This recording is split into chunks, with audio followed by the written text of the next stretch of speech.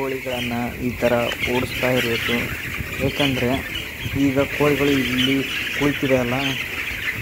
ಈ ಥರ ಓಡಿಸ್ತಾ ಇದ್ದರೆ ಅವಕ್ಕೆ ಕಾಲು ನೋವು ಬರಲ್ಲ. ರನ್ ಮಾಡ್ತಾ ಇರಬೇಕು.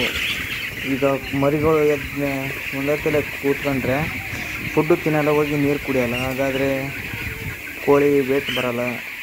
ಗ್ರೋತ್ ಆಗಿರಲ್ಲ ಸ್ಟ್ರಾಂಗ್ ಆಗಿರಲ್ಲ ವೀಕ್ ಆಗ್ತವೆ. ಈ ಥರ ಓಡಾಡಿಸ್ತಾ ಇರಬೇಕು. ಈಗ ನಾನು ಓಡಿಸಿದ್ದೀನಲ್ಲ ಒಂದು ಸ್ವಲ್ಪ ಬಿಟ್ಟು ನೋಡಿದರೆ ಅವು ಫುಡ್ ತಿಂತಾ ಇರ್ತವೆ, ಇಲ್ಲ ನೀರು ಕುಡಿತಾ ಇರ್ತವೆ. ಈ ಥರ ರನ್ ಆಗ್ತಾ ಇರಬೇಕು ಕೋಳಿಗಳು. ಇದನ್ನ ಹತ್ತು ನಿಮಿಷಕ್ಕೆ ಒಂದು ಒಂದು ಬಾರಿ, ಒಂದು ತಾಸಿಗೆ ಆಗಲಿ, ಅರ್ಧ ಗಂಟೆಗಾಗಲಿ ಮಾಡ್ತಾ ಇರಬೇಕು ಈ ಥರ. ಮರಿಗೆ ಏನೂ ಎಫೆಕ್ಟ್ ಏನೂ ಆಗಲ್ಲ ಈ ಥರ ಓಡಿಸ್ತಾ ಇದ್ದರೆ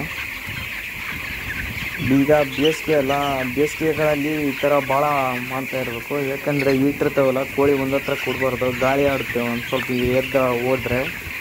ಈಗ ನಾವು ಮನುಷ್ಯರಿಗೆ ಆದರೆ ಇದು ಹೆಂಗೆ ಎದ್ದು ಹೊರಗಡೆ ಹೋಗಿ ಬಂದ್ರೆ ಸ್ವಲ್ಪ ಇದೇ ಕೂಲಾಗಿರ್ತೀವಲ್ಲ ಆ ಥರ ಇವು ಎದ್ದು ಸ್ವಲ್ಪ ಕಿಟಕಿ ಹತ್ರ, ಬಾಗ್ಲ ಹತ್ರ ಹೋಗಿ ಕೂತ್ಕೊತಾವೆ. ಈ ಥರ ಕೂತ್ಕೊಳೋದ್ರಿಂದ ಕೋಳಿಗೆ ಏನೂ ಆಗಲ್ಲ